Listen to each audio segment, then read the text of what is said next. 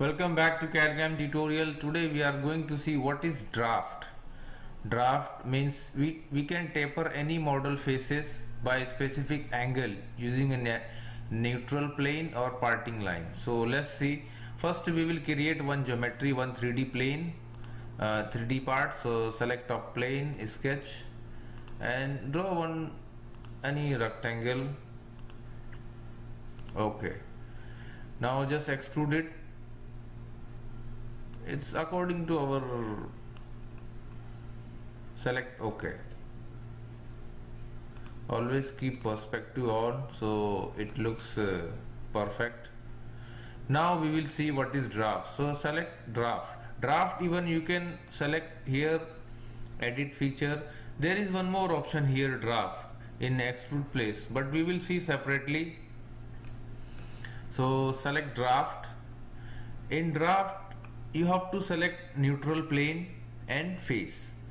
So we can make any neutral plane. Let's make this as a neutral plane. And we will select this face which one which we want to draft. So we selected this face. Angle let's make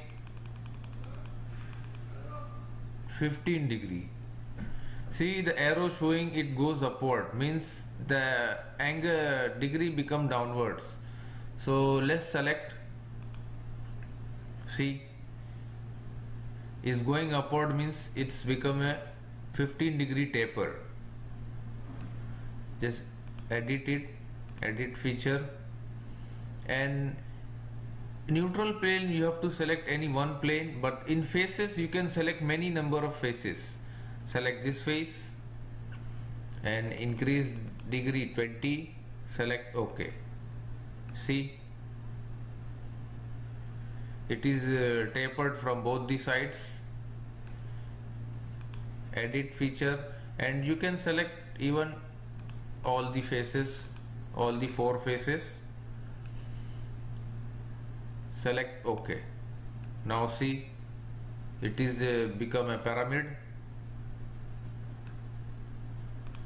re-edit it and see this arrow dimension. You can make reverse. So just select it reverse.